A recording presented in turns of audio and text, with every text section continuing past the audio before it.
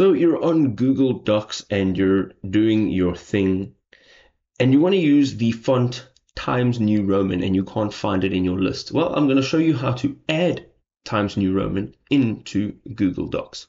Follow me. So once you open your Google Doc, you will have the opportunity, of course, to create your document, write your text, whatever you need to do here. And on your menu ribbon, you'll see currently it's on Arial. This is our default font. So from here, you're going to scroll all the way down and you will find Times New Roman here.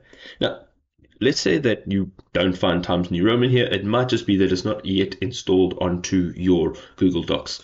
So right at the top here, you'll see more fonts. And here you can actually just dial in Times New Roman. And if it's not already added, you'll find Times New Roman here. You can literally just click on it and tap on OK. This will now be added to your fonts that are available in Google Docs. If this was helpful, drop us a like. We'll see you next time. Peace out.